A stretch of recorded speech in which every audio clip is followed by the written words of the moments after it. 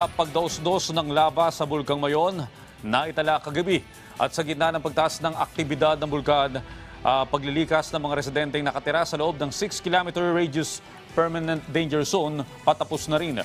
Ang update doon, alamin natin mula kay Mark Petalco. Mark? Muli nagkaroon ng lava flow ang Bulkang Mayon bago mag alas 8 kagabi mula sa bayan ng Daraga.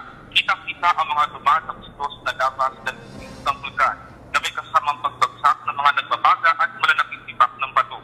Ayon kay Department of Science and Technology Secretary Renato Santos Jr., ang naging aktibidad ng Mayon kagabi ay tinatawag na non-exclusive magmatic eruption o FUC eruption.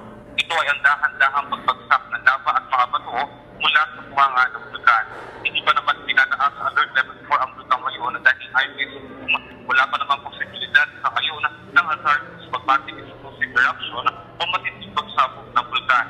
Halos patapos na din ang paglilikas sa mga residente at sa loob ng 6 km radius zone.